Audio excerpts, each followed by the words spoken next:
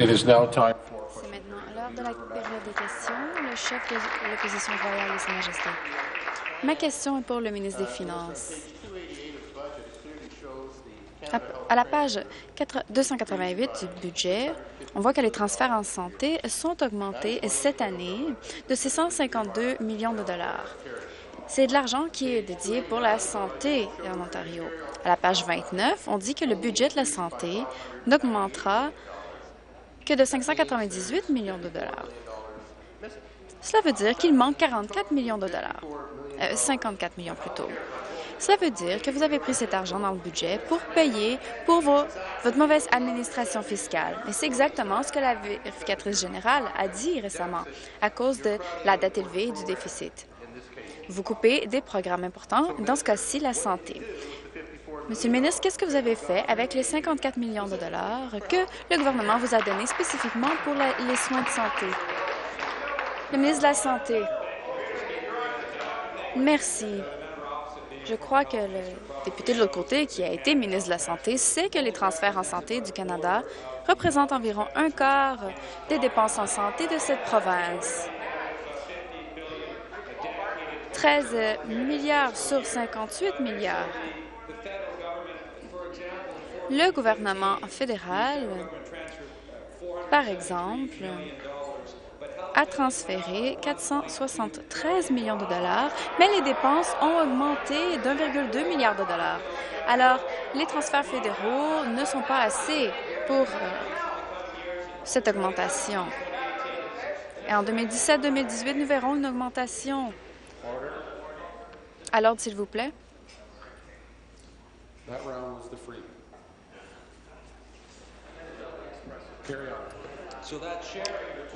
Continuez. C'était 50-50 auparavant, mais maintenant, on parle de 25% pour le gouvernement fédéral. Et en 2017-2018, nous enlèverons 21 milliards de dollars au niveau national en transfert en santé complémentaire. Ministre des Finances, vous pouvez dépenser cet argent. Ils vous ont donné 652 millions de dollars et votre budget euh, n'était pas de ce montant. Alors quelqu'un a, quelque part, volé 54 millions de dollars. Intervention du président, je vais vous demander de retirer vos propos. Je retire mes propos. C'est l'équivalent de 9 000 lits de soins de longue durée. Les gens attendent ces lits, mais ils ne sont pas disponibles. Et à cause des longues listes d'attente, cela coûte 7 000 par année pour euh, une personne âgée qui a besoin de soins de santé qui pourrait les recevoir. Alors, je demande au ministre encore, pourquoi avez-vous coupé les, les dépenses en soins de santé quand nous en avons besoin? Le ministre. Euh, Oui, il y avait avant un, un partage de 50-50 qui est maintenant à 25 de contribution du niveau fédéral et qui descend. On parle de 21 milliards de dollars au niveau national. Et je, je dirais aux députés de l'autre côté que cet individu dans sa circonscription pourrait recevoir le soutien qu'il a besoin. S'il avait euh, défendu le gouvernement de l'Ontario au lieu de défendre le gouvernement fédéral.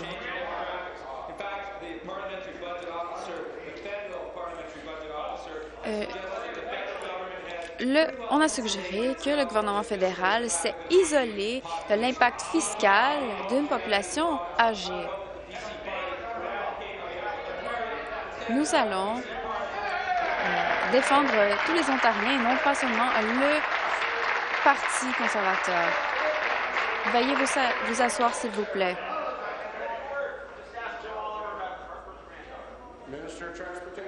Le ministre des Transports, c'est la deuxième fois.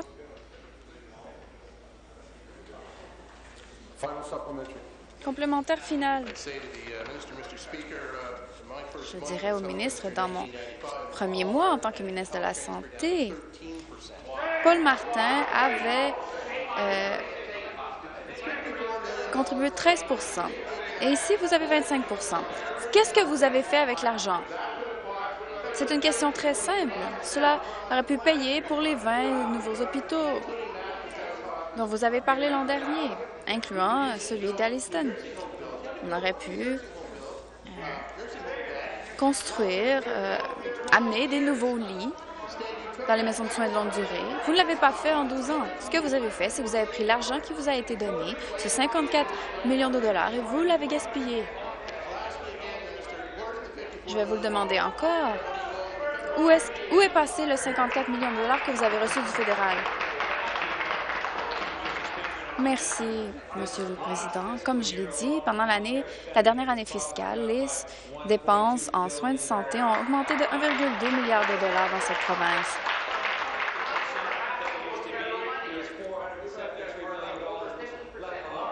C'était de 473 millions de dollars et cela a laissé un trou parce que le gouvernement fédéral ne, euh, ne s'adresse pas au problème de euh, la démographie et de la population euh, âgée de cette province.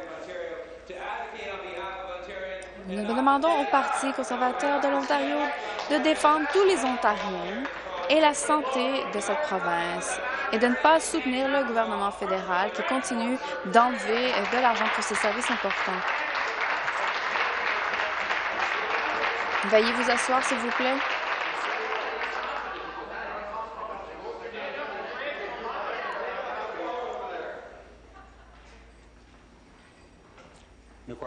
Nouvelle question, député de Nipissing.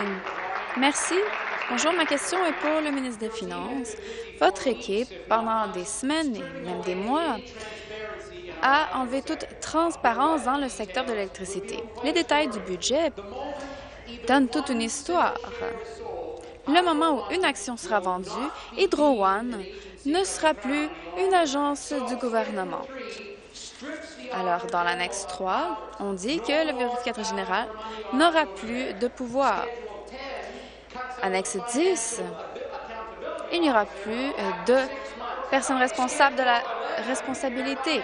Annexe 11, la loi sur l'administration financière enlèvera notre possibilité d'obtenir toute information sur Hydro One. Ce qui se passe ici, Monsieur le ministre, c'est que c'est qu'on enlève tout accès sur l'information concernant des actifs. Est-ce que c'est votre idée de la transparence et de l'ouverture? Le ministre des Finances. Merci, Monsieur le Président. Nous prenons, nous tirons avantage d'une corporation de la Couronne, député de Leeds Granville, Oxford et Bruce Gray Owen Sound, à l'ordre. Il y en a quelques autres que je pourrais nommer. Nous allons maximiser la valeur de cette corporation et nous reconnaissons que nous pouvons faire mieux. Nous allons réinvestir chaque dollar des, gains qui sont faits. Nous allons euh, amener un premier appel public à l'épargne dans les prochains mois. Pour les premiers 50% et nous allons pouvoir réinvestir ces gains dans l'infrastructure et encore une fois, nous pourrons employer des gens et contribuer à cette province. Monsieur le Président, c'est la chose appropriée à faire et le député de l'autre côté est d'accord parce qu'ils ont défendu ce genre d'occasion par le passé. Merci complémentaire. Il est clair que vous ne voulez pas que nous sachions ce que votre gouvernement fait. Nous avons dû essayer de trouver euh, de l'information sur le scandale des centrales au gaz, mais certaines avaient été euh, effacées. Et vous faites la même chose ici. Vous vous êtes assuré que nous n'avons pas aucun accès sur ce qui est trait à Hydro One. Annexe 13 sur la liberté d'information ne s'applique plus à Hydro One. On ne pourra pas rien savoir. Annexe 38. Hydro One n'est plus sur la liste Soleil. Ça a été une des choses les plus controversées l'année dernière. Donc, Monsieur le ministre, encore une fois, c'est une façon d'arrêter le flux de l'information. Est-ce que c'est votre idée de l'ouverture et de transparence? Le ministre des Finances. Monsieur le Président, notre idée, c'est de s'assurer euh, de le député de Renfrew et Simcoe Nord à l'ordre. Je ne veux pas que les gens ici euh, se fassent enterrer par les gens qui parlent. Continuez. Nous allons avoir un nouveau, nouvel ombudsman Et il y aura une structure pour le premier appel public à l'épargne. Et nous reconnaissons qu'il doit y avoir une certaine discipline quant aux documents d'une corporation publique. Et nous, ce que nous ne faisons pas, c'est la même chose euh, qu'avec la vente de la 407, du manque de surveillance. Nous prenons une approche euh, par étapes pour, euh, pour les avantages des Ontariens complémentaires. Dans l'annexe 22, on dit que les lobbyistes n'ont pas à s'inscrire. Annexe 23 24. Hydro One ne fait plus partie de la loi municipale de la liberté d'accès à l'information. L'Ombudsman ne pourra plus enquêter sur Hydro One. Vous, mettrez votre propre personne dans ce, dans ce rôle. Il n'y aura plus non plus euh, de commissaire à l'intégrité. Il n'y aura plus aucune intégrité dans le système, alors vous n'aurez plus besoin de ces personnes. Monsieur le ministre, quand va, la, euh, la, va entrer en vigueur la honte? Veuillez vous asseoir.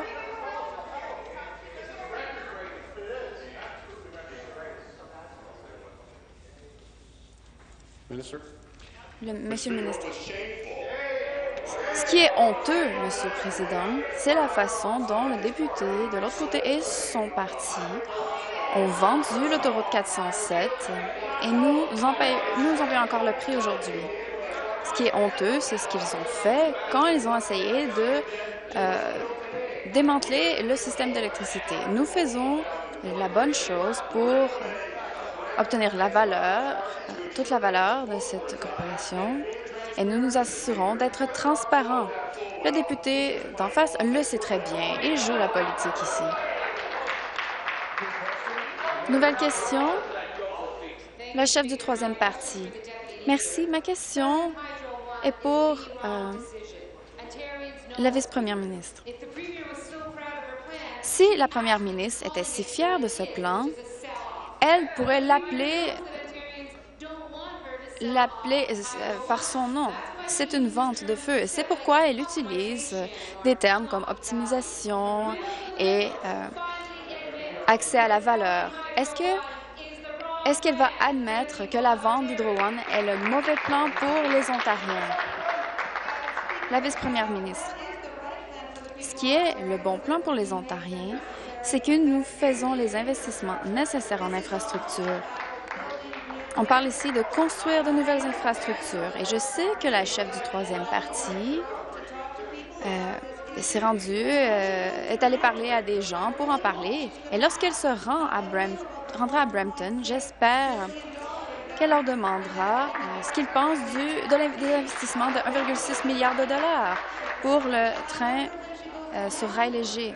Et quand elle se rend à Hamilton, qu'est-ce que les gens vont dire concernant les investissements en transport en commun? La vérité, c'est que les Ontariens ont besoin de ce genre d'investissement en infrastructure. Notre économie en dépend et les gens en dépendent parce que les gens dépensent, euh, passent trop de temps euh, dans le trafic quand ils pourraient être à la maison avec leur famille. Quand on se rend euh, quand elle se rendra à travers la province, je demande à la, à la chef du troisième parti Merci. Complémentaire. Les gens ont besoin d'un système d'électricité fiable et non pas d'une vente. Pendant l'élection l'été dernier, la première ministre n'a pas informé les, les, Ontariens sur ses plans de vendre Hydro One. Nous avons euh, lancé une campagne hier pour que les Ontariens puissent faire entendre leur voix. Et pendant les 24 dernières heures, plus, plus de 2000 Ontariens ont envoyé un message clair. Les gens ne veulent pas payer le prix pour encore plus de mauvaises décisions par la première ministre. Les Ontariens n'aiment pas son plan de vendre Hydro One. Est-ce que les libéraux vont écouter les Ontariens? Est-ce qu'ils vont écouter ces gens au lieu d'écouter leurs amis sur Bay Street? Et vont-ils euh, mettre fin à ce plan terrible? La vice-première ministre. Je crois qu'il est temps que la chef du troisième parti soit claire sur quel plan elle annulerait. J'espère qu'elle dira euh, quels sont ses projets. On parle ici de connecter les gens. Le programme Connecting Links est très important pour les Ontariens.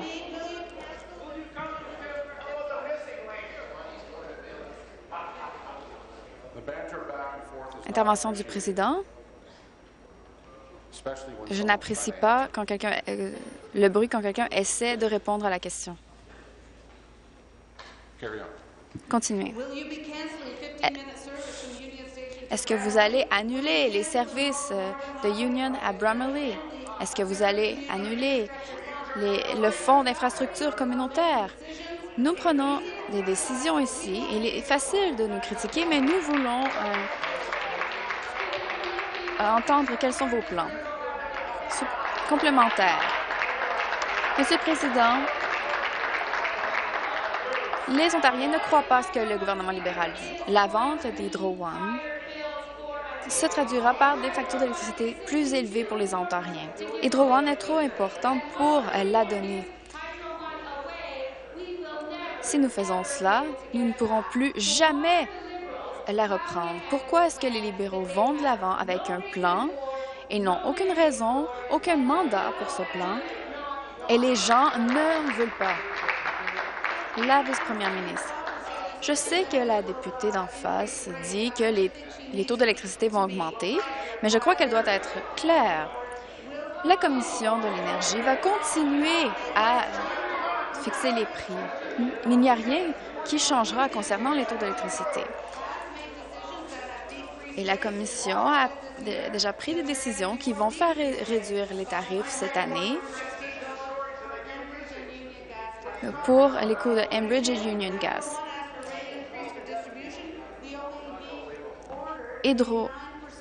La Commission a demandé une diminution. En 2012, Hydro One a demandé d'augmenter les frais de transmission mais la Commission a demandé une diminution. Alors, euh, il n'y a rien qui changera concernant les tarifs d'électricité. Je crois que le parti d'en face doit être honnête avec les Ontariens, que euh, ce qu'ils disent ne tient pas la route. Nouvelle question, la chef du troisième parti. Je ne savais pas que les libéraux pouvaient être euh, si, peu en lien avec ce qui se passe. Est-ce que la vice-première ministre peut justifier de dépenser 7 millions de dollars pour les consultants qui, les aident dans la vente d'hydrogène. La vice-première ministre.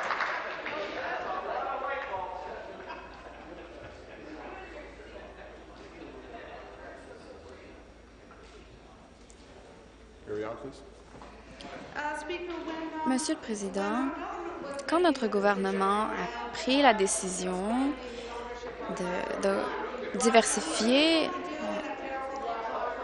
les, euh, les actifs d'Hydro Nous voulions protéger les payeurs de taxes. Une des choses que la députée de l'autre côté doit comprendre, c'est que nous serons le propriétaire le plus important d'Hydro Nous aurons 40% des actifs et euh, le deuxième aura un maximum de 10% Et les décisions clés demanderont un vote aux deux tiers. Nous protégeons les payeurs de taxes et ceux qui paient leur facture d'électricité.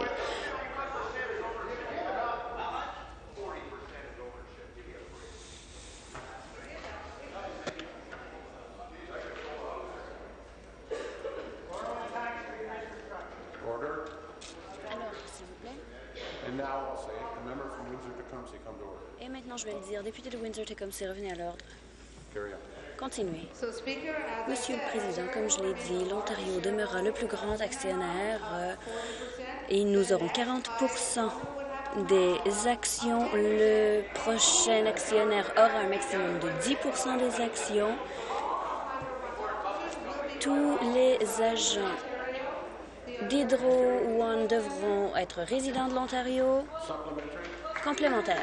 Monsieur le Président, vous savez quoi? Avec ce genre de gestion, c'est ce côté qui devrait être le gouvernement.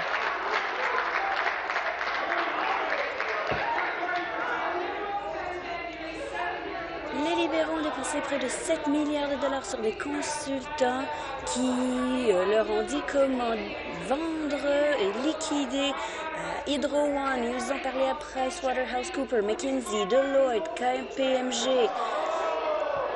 Mais le bureau de la première ministre ne nous dira même pas ce que ces entreprises ont fait ou ce qu'elles ont donné comme information. Est-ce que la vice-première ministre, la présidente du Conseil du Trésor, euh, publiera ces rapports afin que les Ontariens puissent voir ce que ces rapports disent sur les tarifs, sur la fiabilité, les millions de dollars en revenus, en perte de revenus, alors que vous allez liquider Hydro? Intervention du président. S'il vous plaît. S'il vous plaît. Merci.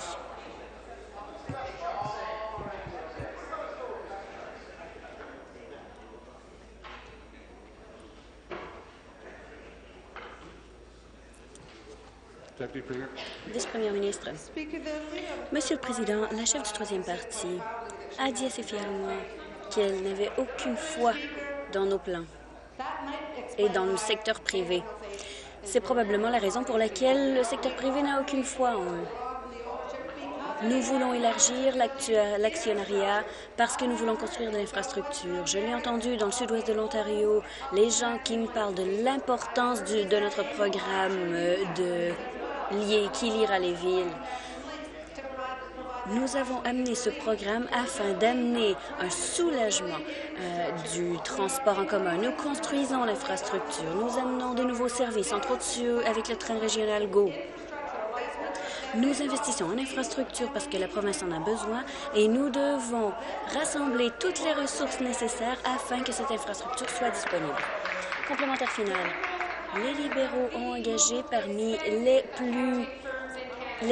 les firmes de consultants les plus dispendieuses au Canada. Voici ce qu'on dit. Nous sommes qu'ils sont incroyablement dispendieux. C'est ce qui a été dit de ces, compagnies. On travaille avec Bay Street et ses consultants, mais c'est ce qui euh, n'est pas acceptable pour les Ontariens. La vice-première ministre dit qu'il n'y a pas d'argent pour les soins de santé, pour l'éducation, pour euh, les, services de garde. Est-ce que la vice-première ministre peut vraiment justifier de dépenser 7 millions de dollars sur des consultants dispendieux afin d'avoir des consultations sur Hydro One? Quand est-ce que cette première ministre et ce gouvernement libéral mettra cette priorité en œuvre? La vice-première ministre. Monsieur le Président, nous avons beaucoup de foi en le potentiel d'Hydro One. Nous croyons qu'avec ce système restructuré, amènera des incitatifs afin d'avoir plus de compagnies de distribution locales euh, dans notre système. Nous sommes ouverts et transparents à ce processus, au contraire de ce que la chef du troisième parti dit. C'est inclus dans le programme électoral de 2014 pour, le budget, pour euh, les libéraux. Le budget de 2014, nous avons mentionné que nous essaierions de valoriser les actifs. Et la chef du troisième parti a fait campagne sur ce programme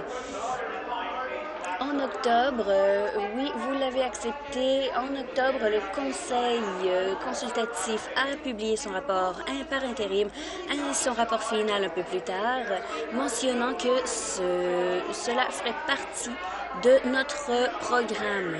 L'Ontario a besoin d'investir en infrastructure, d'investir en infrastructure. Nous devons le faire maintenant.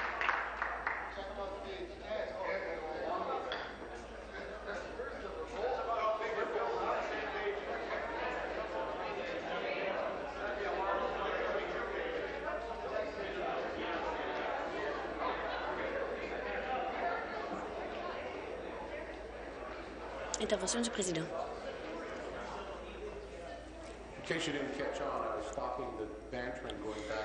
Si vous ne compreniez pas, j'essayais simplement de, que vous arrêtiez de vous chamailler d'un côté et de l'autre. Vous pouvez continuer si vous voulez. Oh non, ça va des deux côtés. Nouvelle question. Député de Simcoe Nord. Ma question s'adresse à la ministre de l'Éducation aujourd'hui. Une autre journée et la ministre se cache encore de ses responsabilités. La semaine prochaine, il y aura 42 écoles secondaires, euh, étudiants plutôt en, au secondaire qui n'iront pas en classe. La ministre a dit hier, je cite, « Ça dépend du local du syndicat ainsi que les questions locales. C'est la responsabilité du local. Personne ne blâme les grèves sur les questions locales, euh, mis à part la ministre. Est-ce que vous, vous, admettrez maintenant que les élèves ne sont pas à l'école parce que ça fait 12 ans que les libéraux manquent de responsabilité dans la gestion du système?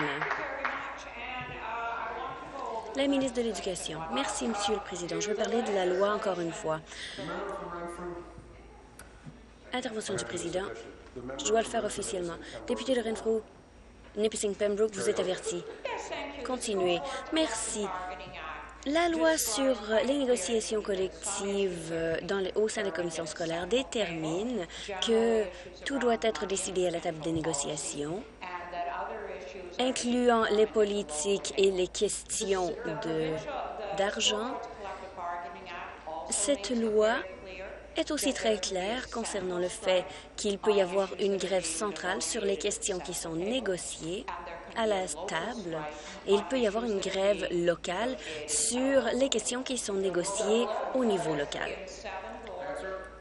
Les locaux dans cette commission scolaire ont demandé une négociation au niveau local. C'est ce que dit la loi et c'est le processus dans lequel il se trouve, complémentaire. Madame la ministre, votre réponse aujourd'hui et vos commentaires d'hier ignorent votre responsabilité en tant que ministre de l'Éducation. Lundi prochain, lundi prochain, euh, dans six jours, 80 élèves au secondaire n'auront pas leur cours. Dans 14 jours, euh, il pourrait y avoir 117 élèves qui n'auront pas de classe. Ne pensez pas que vous n'êtes pas responsable pour ce qui se passe ici dans les salles de classe en Ontario. Donc, Madame la ministre, qu'êtes-vous prête à faire afin que les élèves puissent retourner en classe pour que personne ne perde son année scolaire? Intervention du président. Asseyez-vous, s'il vous plaît. Merci. La ministre. Merci, Monsieur le Président. Ma réponse, ma responsabilité est de m'assurer que nous ayons une, une convention collective négociée au central parce que la couronne n'est présente à la table de négociation que pour les négociations centrales. Et donc, je travaille avec les partis de différents euh, d'une différente diversité pour travailler à la table centrale. Et c'est bien mieux que ce qu'il ferait parce que le parti de l'autre côté a dit au cours des élections qu'il renverrait 22 700 enseignants de nos écoles. Donc, ce que nous faisons est bien mieux. Nouvelle question. Député de Kitchener-Waterloo. Merci, Monsieur le Président. Ma question s'adresse à la Première ministre, à la vice-première ministre. De vendre Hydro One paiera pour moins de 3% des promesses en infrastructure et en transport en commun des libéraux. La première ministre fait tout de même, bien qu'il n'ait aucun mandat et aucune bonne raison, bien que nous ayons entendu que Bay Street a bénéficié de ce plan. Cet argent ira dans le fonds Trillium. La première ministre dit une chose, son plan dit quelque chose de différent. La vente, l'argent de cette vente ira directement dans des revenus consolidés. Il n'y a rien dans le budget qui dit que cet argent doit être euh, dépensé sur l'infrastructure. Et les libéraux essaient simplement... Est-ce que les libéraux essaient simplement de tromper l'électorat afin qu'il puisse euh, appuyer ce plan? La vice-première ministre, la députée de l'autre côté n'a pas raison. Une partie de la vente d'Hydro One, environ 5 millions de dollars, ira vers la dette. Ensuite, le reste ira dans le fonds Trillium. Et ce fonds est destiné au projet d'infrastructure, Monsieur le Président. Merci, complémentaire.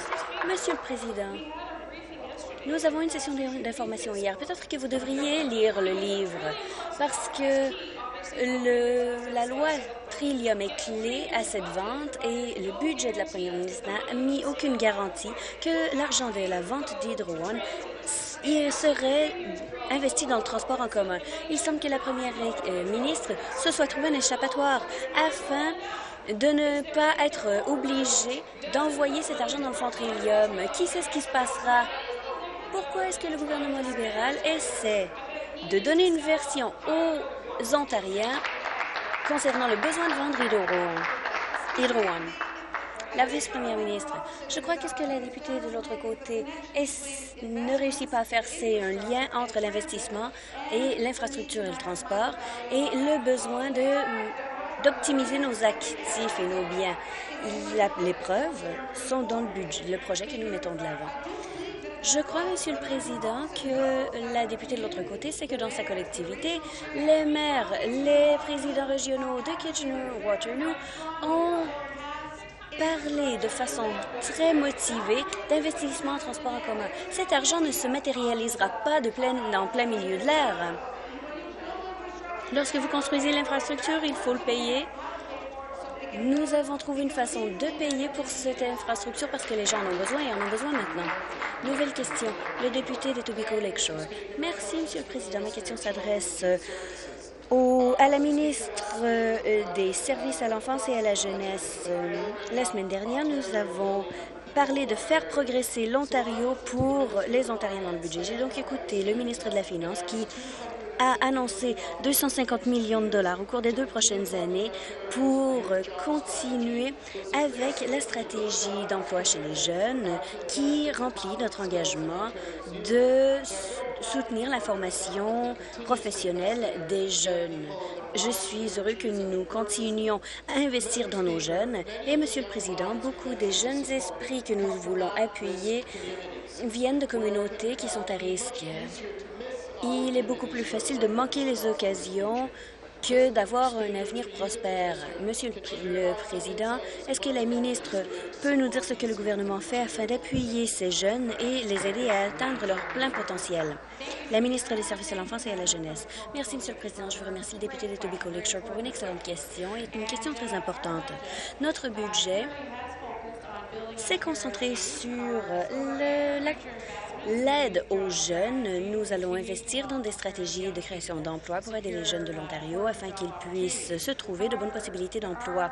Cependant, il y a beaucoup de jeunes à risque dans notre province. Il faut donc agir afin d'élargir et d'améliorer notre plan d'action.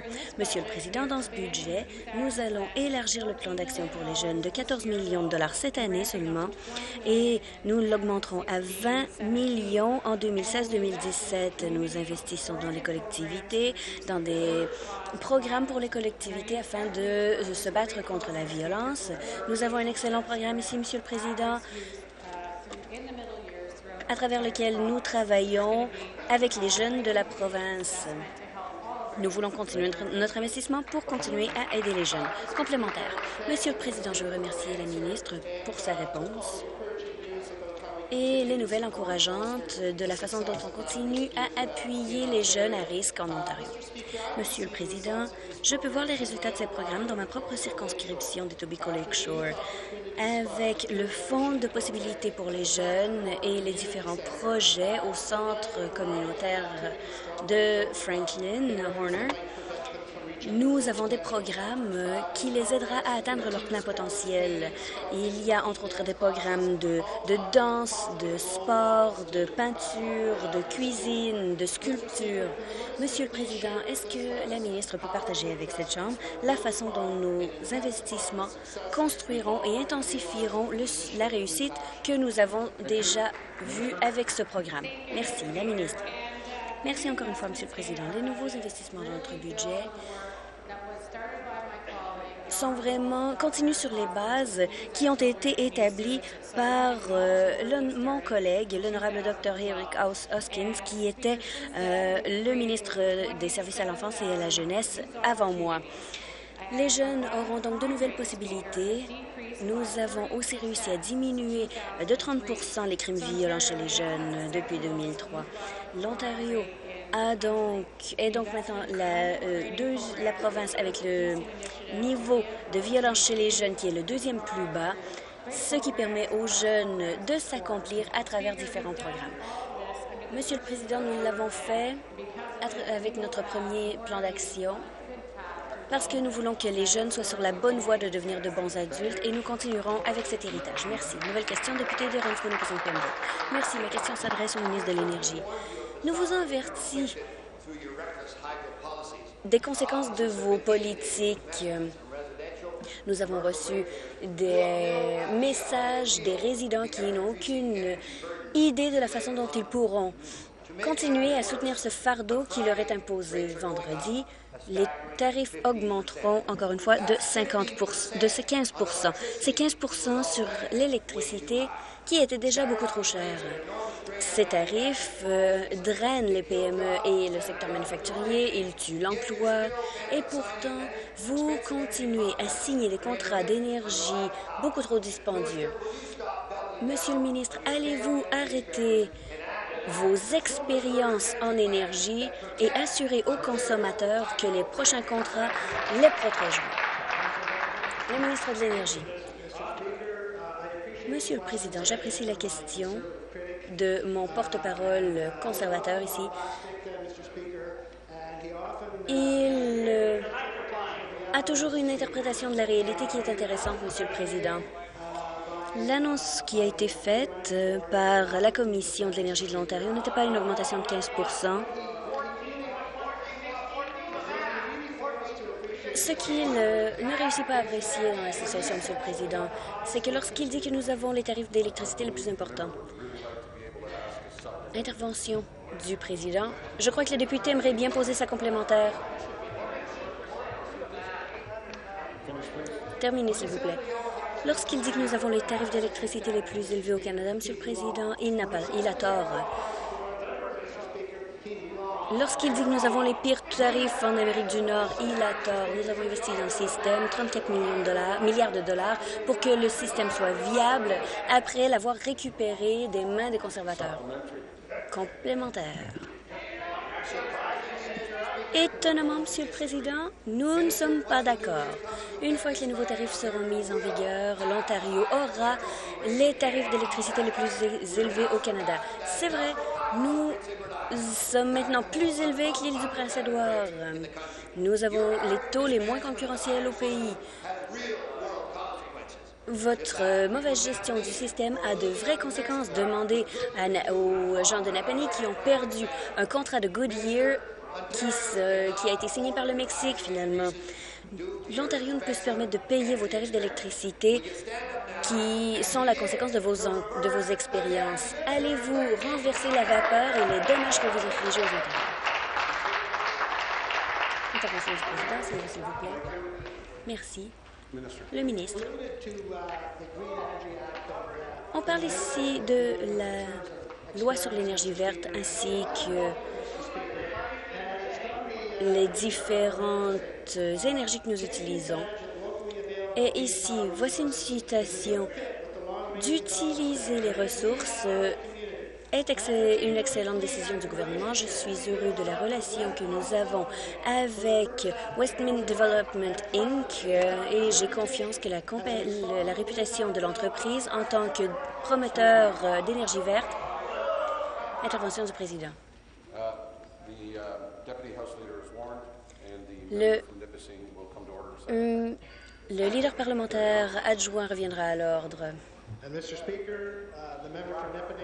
Le député de Nipissing dit que North Bay sera maintenant bien établi sur la carte parce que nous aurons de bonnes sources d'énergie. Merci. Vous avez terminé. Député de Nipissing, vous êtes averti. Nouvelle question. Député de Toronto-Danford. Merci, Monsieur le Président. Ma question s'adresse à la vice-première ministre. Le budget dit ce qui suit dans l'article 7 de l'annexe 9, que la vente d'Hydro One ne sera pas plus importante que 10% Monsieur le Président. La Première ministre promet que la Première ministre, euh, que la province sera propriétaire de 40 de euh, d'Hydro One. Pourquoi est-ce que les autres ne pourront avoir que 10 de la, des actions?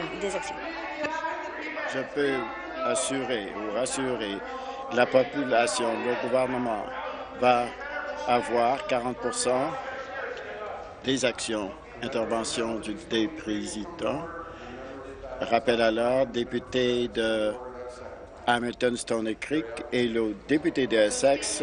Deuxième avertissement, nous allons déposer un projet de loi que le gouvernement ne pourra avoir moins de 10% Aucun autre actionnaire ne pourra avoir davantage de 10% et que cette décision nécessite deux tiers des membres.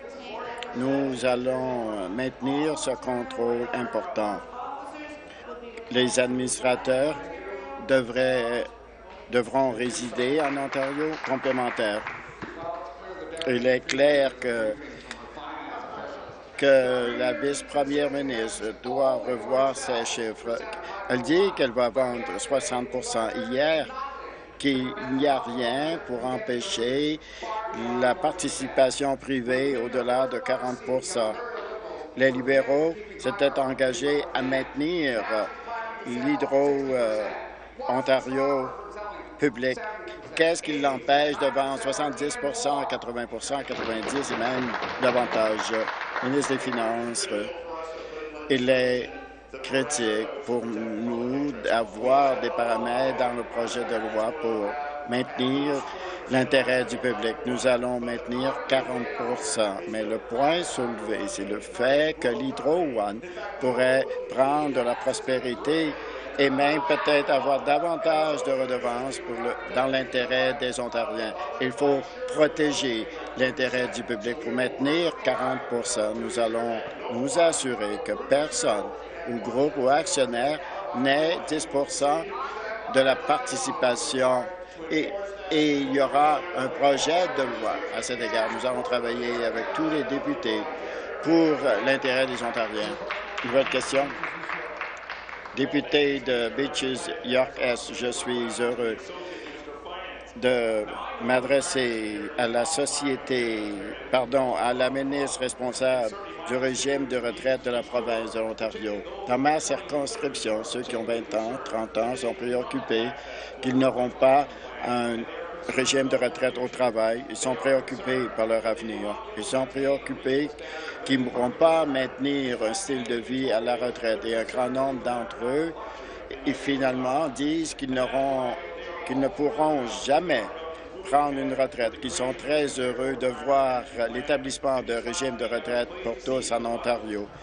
Et dans le budget, il y a des progrès réalisés vers l'établissement de ce régime. Monsieur le Président, est-ce que la ministre peut nous donner de l'information détaillée pour aller de l'avant avec l'établissement d'un régime de retraite provincial? Merci. Je voudrais remercier le député de Beaches Yorkes le budget de la semaine dernière est l'élément suivant pour améliorer la retraite d'un grand nombre d'Ontariens. Notre gouvernement euh, dépose des projets de loi pour l'établissement d'un régime de retraite et d'une entreprise pour gérer le régime de retraite. Ce sera un organisme indépendant L'Ontario est un leader mondial en matière de gestion des régimes de retraite. Teachers et OPCU sont d'excellents projets, un régime de retraite. Monsieur le Président, nous utilisons l'expertise les compétences de l'Ontario en matière de régime de retraite avec euh, l'installation, l'élaboration, la mise en œuvre d'un régime de retraite provincial. Merci de, sa réponse intelligente. Je sais que mes commettants seront heureux de voir que le gouvernement visant à mettre en œuvre le cadre de ce régime de retraite et les gens de ma circonscription veulent qu'il y ait un organisme de gestion simple et professionnel. C'est ce que le gouvernement le fait. Je suis heureux également que le gouvernement utilise les experts en matière de retraite de l'Ontario. Je ne savais pas que ceux de l'Ontario sont bien réputés à l'échelle internationale. Monsieur le Président, à Hong Kong, au ministre associé des Finances, voulez-vous expliquer à la Chambre pourquoi nos régimes de retraite sont si, ont une telle réputation à l'échelle internationale? Merci. Je voudrais remercier le député pour cette question importante. Je sais qu'il travaille très fort pour ses commettants. Les experts attribuent la, réputation de ces régimes parce qu'il y a une structure indépendante du gouvernement. Ils peuvent attirer les vrais talents dans le secteur de la retraite et des placements de retraite. Ils ont les compétences pour réaliser un rendement optimal à un coût économique. Le New York Times a dit que la liberté euh, d'une structure indépendante, que les, les régimes de retraite, les régimes de retraite du Canada sont excellents. Nous avons des experts en matière de retraite pour intégrer ces attributs dans l'élaboration de cet organisme qui va gérer le régime, le régime de retraite. Nous allons avoir les meilleurs avantages possibles pour les Ontariens. Nouvelle question. Député de Paris Sound, Muskoka. Merci, M. le Président. La question s'adresse au ministre du Développement du Nord et des Mines l'Institut Fraser qui revoit le secteur minier de l'Ontario, que l'Ontario va dans la mauvaise direction et que l'indice d'investissement est, nous sommes maintenant au 23e rang dans le monde. il y a une incompréhension totale du secteur minier. Sont que quelques éléments. Ministre, Voulez-vous expliquer pourquoi l'Ontario a perdu neuf places selon le sondage fait par l'Institut Fraser? Lorsque, depuis que vous êtes ministre?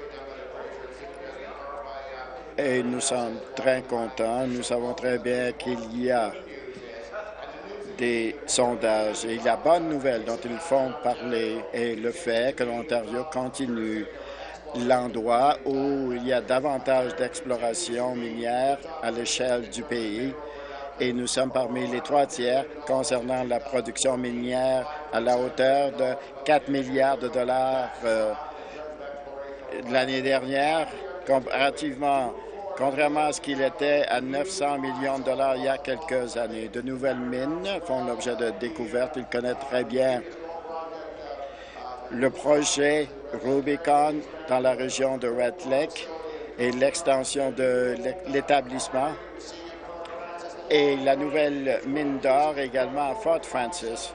Et le secteur euh, minier est en pleine expansion et nous sommes très heureux. Le rapport euh, Fraser est un rapport donne un indice de, confiance. Ce n'est pas le seul organisme qui suit le bilan financier de la province en matière de mines. Et il s'est inquiet des délais sur le cercle de feu. Et en vertu de la loi sur l'évaluation, les projets sont refusés en dedans de 12 semaines. Ces, ces sur Eagles Nest a été transmis il y a deux ans et aucune décision n'a été prise. Ça fait plus de, 3, 132 semaines. Pourquoi, comment allez-vous expliquer ce délai dans l'approbation des projets miniers dans le nord de l'Ontario et retarder la création de millions d'emplois? Je sais que les députés savent très bien les excellentes possibilités dans le cercle de feu et il y a le Noron projet et le projet Eagle Nest également.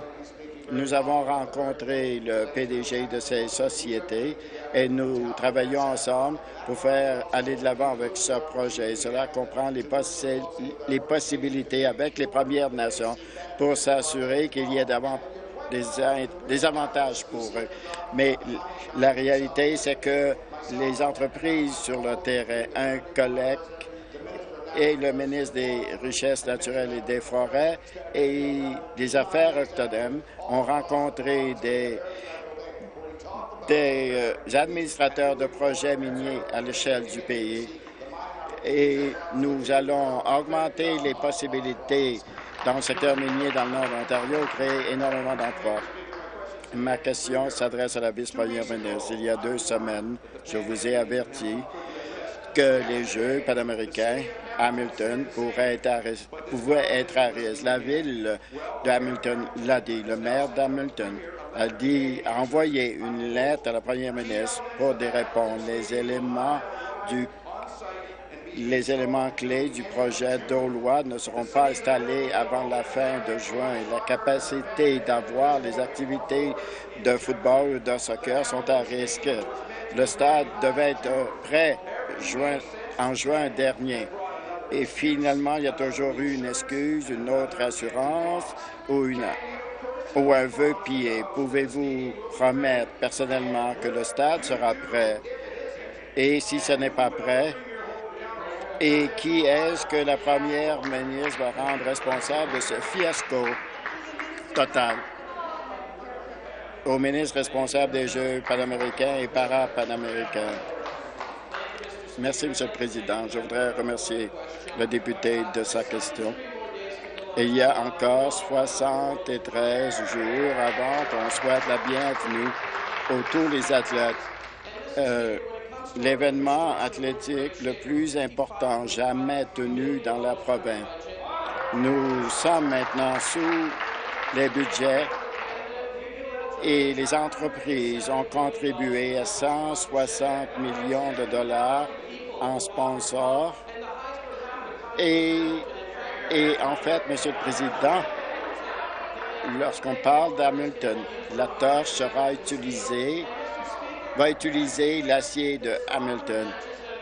Et les euh, parties de football sont, sont, ont été très vendues. Et les gens de Hamilton sont à bord. L'Ontario est à bord. Intervention du président complémentaire. Même s'il n'avait pas répondu à la question, je sais que la maire d'Hamilton n'est pas d'accord avec vous et qu'il y a de fausses promesses après qu'il y a eu un stadium et qu'il faut construire davantage pour avoir une formation pour les événements à Milton. Nous avons appris qu'ils ont construit 800 sièges sans la vue sur le terrain. C'est une mauvaise gestion ou une gestion aveugle les journalistes ont essayé d'avoir de l'information d'infrastructures d'Ontario ou des entrepreneurs concernant les délais. On leur a dit que, que les données étaient sensibles et qu'ils ont refusé de répondre aux questions. Et vice-première ministre, étant donné que infrastructure n'est pas redevable à l'Ontario, voulez-vous, ministre, merci, Monsieur le Président. Je pense que le député d'en face doit vérifier avec l'hôtel de ville et que je sais que la ville d'Hamilton a émis euh, un permis d'occupation et c'est l'un des jalons que nous avons terminé. Merci de la question. Merci d'avoir, euh, merci aux députés de m'avoir fourni l'occasion. Député d'Hamilton Est, Tony Creek député de Hamilton East Stony Creek est averti. Et qui commence encore, je l'avertirai également. Veuillez poursuivre. Merci, Monsieur le Président. La réalité, c'est que le plus grand investissement en matière de sport dans l'histoire de la province et nous sommes fiers de notre bilan. Nouvelle question. Député de Glengarry, Prescott Russell, ma question s'adresse au ministre du Développement du Nord et des Mines.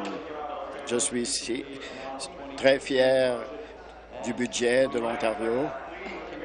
Nous allons continuer à tenir nos promesses pour pour atteindre notre l'équilibre budgétaire et maintenir nos euh, objectifs de réduction du déficit. Et dans le budget, nous avons fait des progrès qui ont été réalisés à cet égard.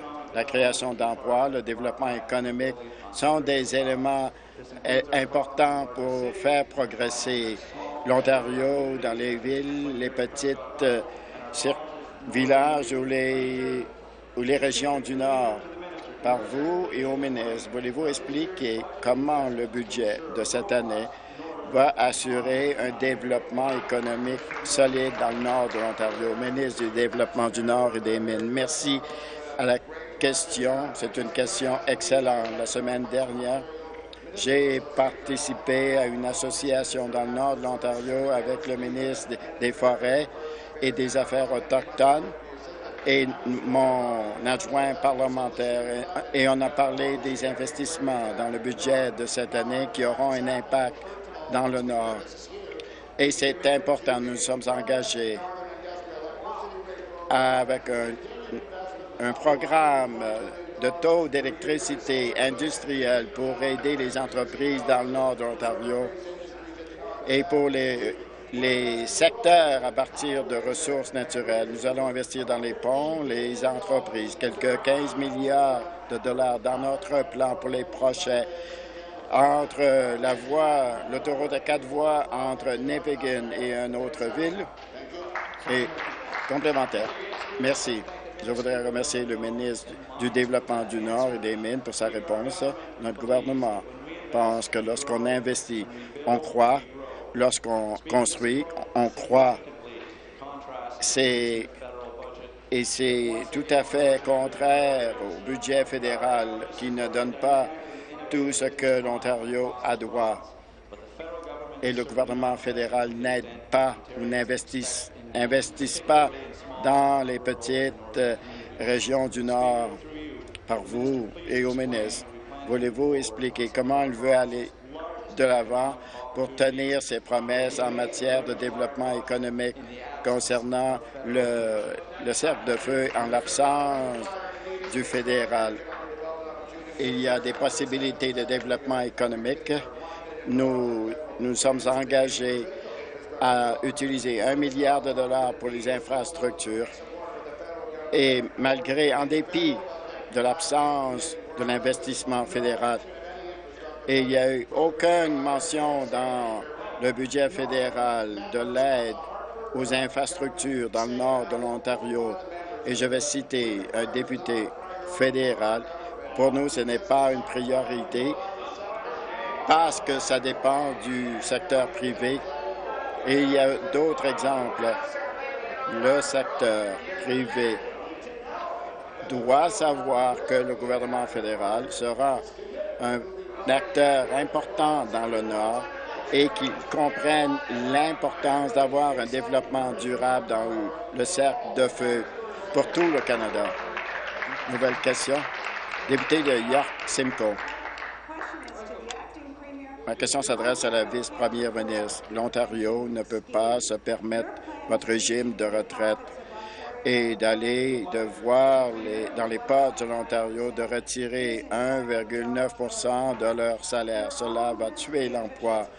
Vos officiels et vos fonctionnaires continuent à admettre que ce projet de loi va éliminer des emplois. Pourquoi continuez-vous à refuser l'avis des chambres de commerce du Bureau économique du Canada et autres? Ministre euh, associé des Finances, responsable du régime de retraite de la province. Je crois que le député sait très bien que les chiffres qu'elle donne n'ont rien à voir avec ce régime de retraite. Cela renvoie à une étude qui a été faite concernant les outils de transfert qui a été refusé par notre gouvernement. Et en réalité, lorsqu'on se penche sur, ce que les économistes disent concernant l'impact du régime et un régime complémentaire de l'Ontario, en fait, ils disent que c'est bien pour l'Ontario et son économie. David Dodge a dit, lorsqu'on pense à la structure, à l'impact à long terme, cela va permettent de, faire prospérer l'économie de l'Ontario, augmenter la productivité, augmenter les investissements de la part des entreprises. Intervention du président, merci. Complémentaire. À la vice-première ministre, non seulement votre régime de retraite va fouiller dans l'argent, de l'argent dans les, dans les chômeurs, cela ce régime de retraite va aller fouiller dans les poches des entreprises. Cela ne va pas créer des emplois. Les entreprises créent de l'emploi lorsqu'ils ont des profits. Vous éliminez cet équilibre. Pourquoi rendez-vous l'Ontario non concurrentiel? Pourquoi voulez-vous que les entreprises quittent l'Ontario? Monsieur le Président, la députée d'en face a tort. Ce matin, j'ai rencontré certaines entreprises dans le grand GTA. Et si on n'investit pas dans l'avenir de la province, ce sera difficile pour les entreprises à l'avenir. Lorsqu'on parle de la couverture de retraite, dans cette province, elle est très faible. Lorsqu'on pense à la prochaine génération, aux prochains retraités, nous voulons nous 75% des employés entre 25 ans et 54 ans n'ont aucun régime de retraite. Il faut prendre des mesures maintenant pour assurer que lorsqu'ils prendront leur retraite, qu'ils aient qu'ils pourront continuer à consommer et à contribuer à l'économie de l'Ontario. C'est bien pour les entreprises, pour la population et l'Ontario et son économie. Ce que l'on fait. Intervention du président. Nouvelle question. Député de Niagara Falls, merci.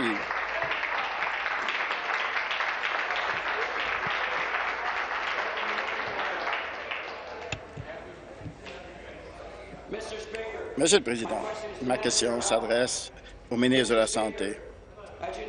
Comme vous le savez, à Niagara, les soins à domicile et ces infirmières sont en grève depuis des, des semaines. Leur employeur une entreprise privée n'a pas respecté la première entente, n'a pas été capable de résoudre le problème. Le propriétaire de cette entreprise doit des centaines de milliers de dollars de, de deniers publics. J'ai rencontré les patients pendant le week-end qui m'ont dit que leurs histoires épouvantables pour leur manque de soins qu'ils reçoivent. Monsieur le Président, en tant que ministre, vous êtes responsable des soins de santé dans notre province. Pouvez-vous m'expliquer pourquoi Care Partner reçoit toujours des patients envoyés par les cliniques privées et les hôpitaux. Ministre de la Santé et des Soins de longue durée? Merci aux députés d'avoir soulevé cette question. On en a parlé hier. Nous sommes d'accord que les patients de la province veulent et méritent d'excellents soins de santé dans leur collectivité au bon endroit. Il y a différent entre l'employeur et les employés. Comme le mentionne le député, en tant que ministre, le gouvernement encourage les partis à négocier une entente et le cas qui est responsable pour dispenser des soins n'est pas l'employeur, ne participe pas aux négociations. Je comprends que le ministre du Travail et ses médiateurs sont disponibles aux deux parties si les deux parties le souhaitent, j'encourage les parties à se rencontrer et demander au casque de s'assurer que les services de santé ou les soins de santé sont dispensés. Nous avons une mise aux voix sur la mousse, sur une mise aux voix sur, euh, sur concernant l'utilisation ou la production de d'arcs de reproduction. Appelez les convoquer les députés, ce sera une sonnerie de cinq minutes.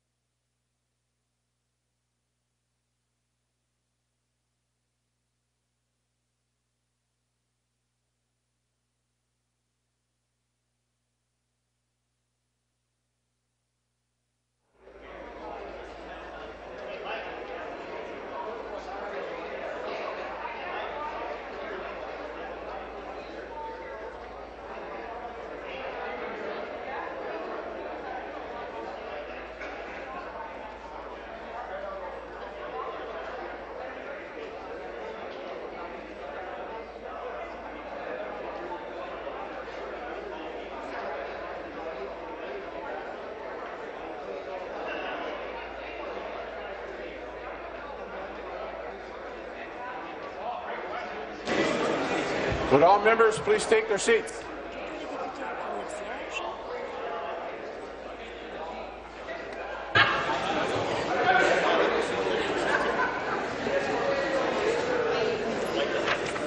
All members take their seats, please.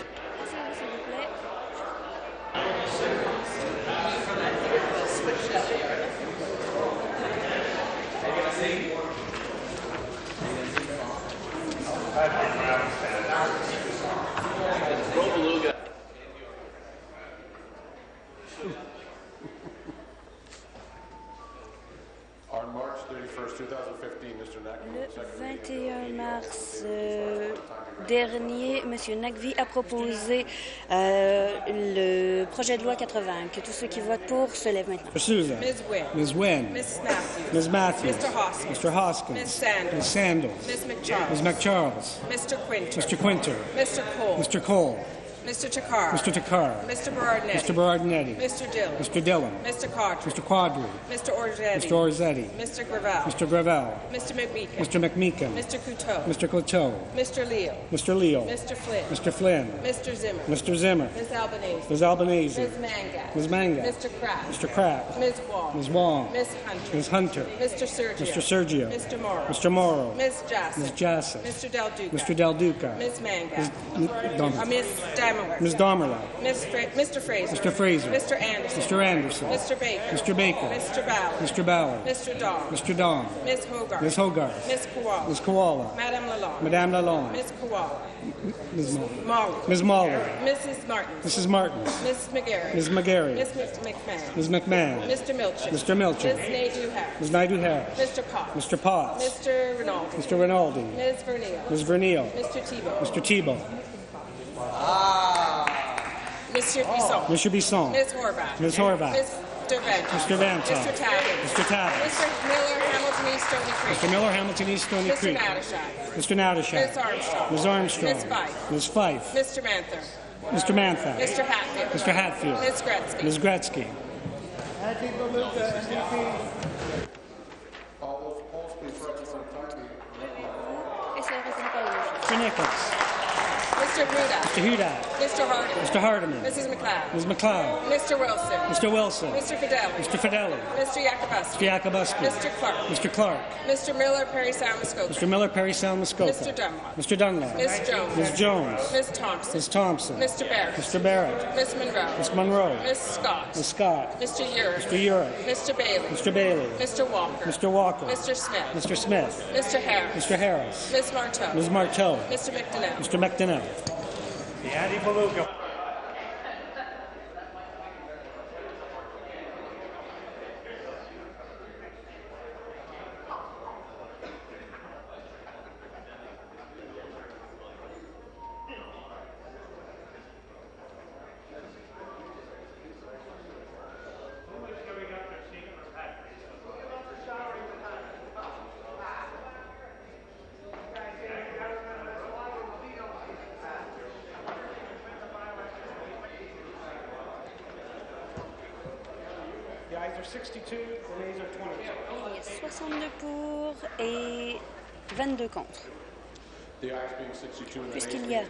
62 pour et 22 contre, la motion est adoptée.